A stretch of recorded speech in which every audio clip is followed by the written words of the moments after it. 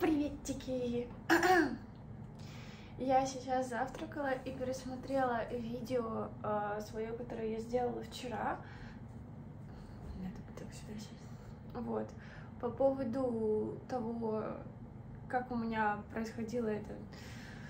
В общем, как я обнаружила в себе агрессию. И многие, исходя из того, как я объясняю свою э, эмоциональную цепочку размышлений и вообще цепочку размышлений, и то, наверное, немалая часть людей могут сказать, типа, да блин, ну лезь, у меня то же самое. И снова мне скажут, типа, лезь, слушай, у тебя нет диагноза. Знаете, в этот раз я с вами соглашусь с вашей логикой. Э, да, вы правы. У вас, наверное, то, ну, типа, этого недостаточно для расстройства. А, но фишка в том, что у меня это проявляется на физическом уровне.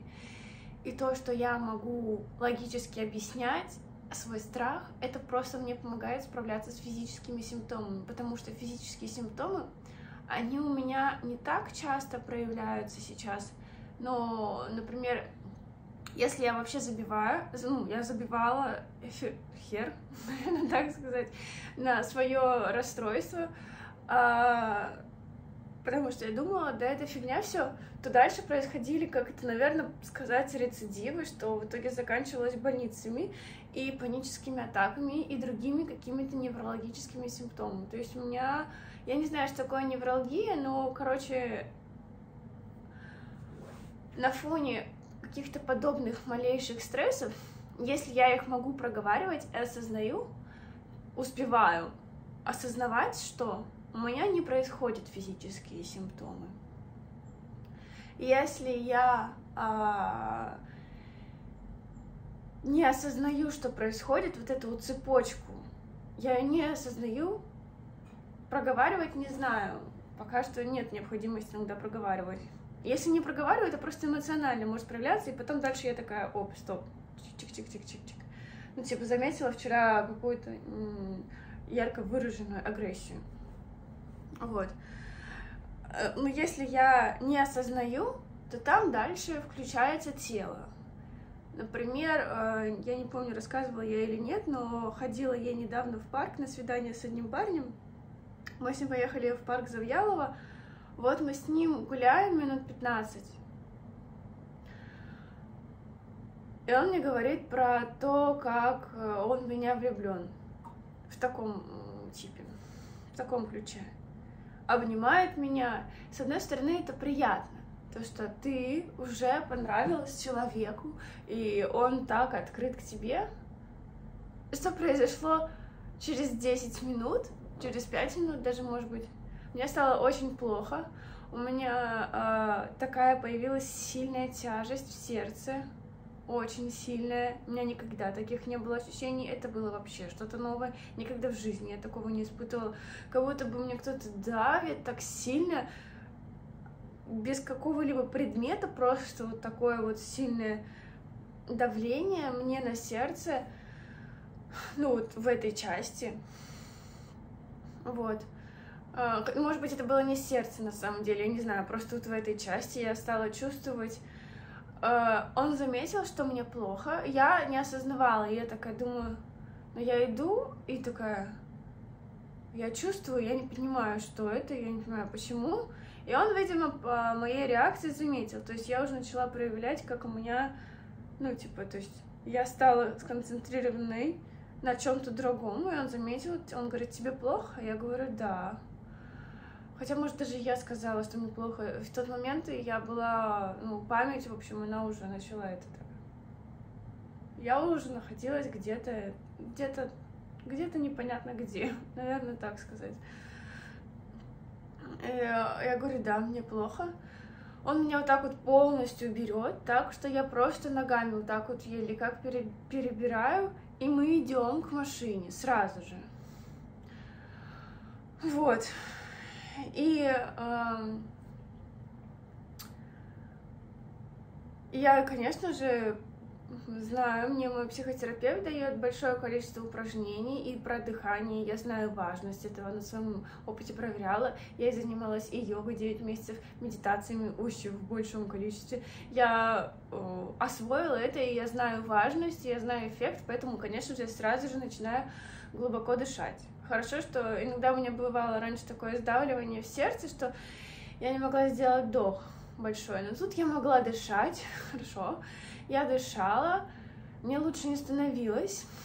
И в тот момент у меня такое легкое, как головокружение. Ну, то есть я находилась где-то уже, ну, то есть это физически, то есть я физически не очень-то, ну, в таком, как какое-то такое пограничное состояние, тут, тут, тут там физически именно.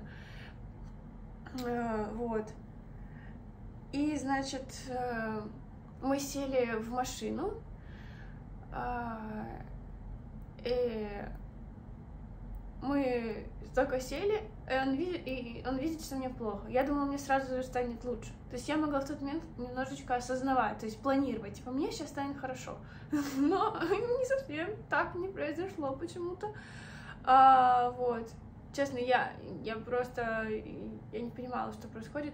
Он говорит, тебе плохо? Я говорю, да. Он откинул сидушку, я легла, я поняла, что если я сейчас стану, я представляла, как мне сейчас нужно дойти до дома, и понимала, что я просто упаду. Я упаду, и все. И непонятно, что это. Короче, все это прошло от начала возникновения, только через полчаса мне стало нормально. Вот. А, еще, ну да, головокружение было. Я не задыхалась, у меня было такое, что я задыхалась, что у меня, как мне было тяжело говорить, у меня пульс такой сильный был. Тут были другие симптомы, хотя я принимаю лекарства. И как я сказала психотерапевту, потом рассказала эту историю, вначале сказала папе, папа говорит, расскажи психотерапевту. А, как только я рассказала психотерапевту, она говорит, Потом я сказала ей то, что за 15 минут до этого мне мужчина сказал такую, э, как бы, проявил свою симпатию и в какой-то степени чувство, наверное. И она говорит, м-м, интересно, такая реакция у тебя на близость. Вот. Может быть, если бы я осознала в тот момент, что, типа, ой, а, ты, а почему ты так ко мне, типа, что, чувство, то есть я даже не могла осознать, ну, я не почувствовала свое напряжение от этого, я не осознала свое напряжение, я не осознала мысли, которые у меня были. То есть у меня мысли были типа, подожди, почему так рано, что, что происходит? Вот этого всего не было, оно было сжато, а потом это начало проявляться физически. Поэтому мое расстройство личности, оно проявляется физически. Если я могу отслеживать, что со мной происходит, тогда, а, тогда со мной на физическом уровне как бы все а, нормально, как минимум. Это эмоционально может проявляться, вспышки какие-то. Но я иногда, ну, вчера получилось мне такая, типа, так, стоп, Лисичка, ты вышла в другом состоянии. Вот. А если я не успеваю свои эмоции, мысли отследить, осознать вот это вот все, э, забиваю хер на свои мысли, то там дальше сердце, пульс, тело, тремор. Я не знаю, что будет. Может, мое тело новенькое что-то покажет. Я очень люблю свое тело, очень люблю, очень ценю свое тело, поэтому, э, в общем, знакомлюсь э, всякое такое. Вот. Надо будет еще рассказать психотерапевту, что вот я, когда прослушала свое видео, я сейчас сидела завтракала, я смотрела это видео. Я прослушала, и я такая, ну я не знаю, может это фигня, я такая сижу и просто смотрю в одну точку. Ну ладно, иногда, может быть, это может быть нормально. Не знаю. Моем, я говорю лично про себя. В общем, такая вот, типа так, на физическом уровне проявляется мое расстройство. И это не про то, что тебе только плохо, но типа эмоционально ты там тебя кто-то обидел, а про то, что мое тело как бы сдерживает меня в обычной жизни. И я То есть это самое яркое, а так на постоянное яркое и не, ну сейчас пока что не каждый день такое происходит, и это даже не паническая атака, хотя я не знаю, непонятно, что относится к панической атаке, а, но память, да, ну, хз, ну да, в моем расстройстве, я потом, может, возьму сейчас телефон, зачитаю про свое расстройство, но еще это я не могу сконцентрироваться ни на чем. Абсолютно. Я не могу вести нормальный образ жизни, там, заниматься спортом, а, быть активной. Я не могу это все. Не, не то, что я не хочу. У меня просто нет на это сил потому что мое расстройство, оно забирает все силы. А еще оно приводит к тому, если запустить, то иммунитет просто ослабевается, потому что мой организм тратит все силы на мое эмоциональное восстановление. И иммунитет, иммунитет из-за этого... А потом проявляются болячки снова на физическом уровне там что-то с кожей, вот у меня, сейчас говорю, у меня какие-то на коже покраснения, лишай, не лишай, сухость глаз, ОРЗ, ОРВИ, горло болит, температура у меня каждый день, каждый день я живу с температурой уже на протяжении почти 9 месяцев, ну полгода точно, у меня температура 37-37,5. Я уже не меряю давно, постоянно, поэтому какой спорт, когда температура, у меня нет сил просто этим заниматься. А, что еще?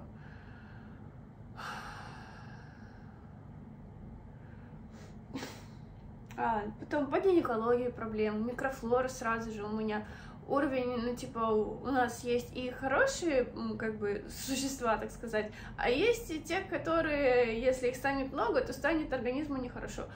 Слабый иммунитет этих э, злых чувачков становится больше, проявляется дисбаланс во всем организме.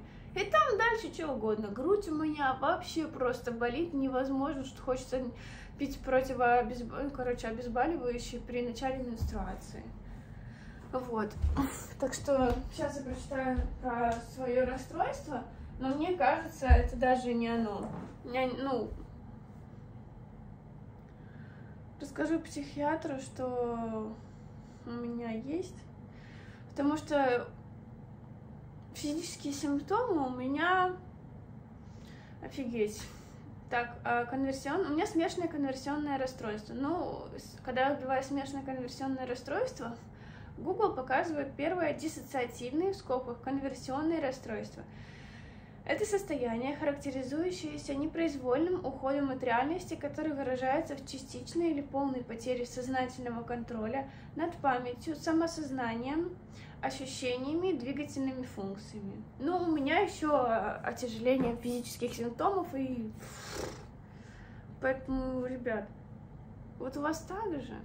Давайте уже вроде бы понятно все объяснила. Надеюсь. Надеюсь, я скоро стану здоровой. Или найдется правильное лечение, чтобы помочь мне справиться с тем, что я сейчас.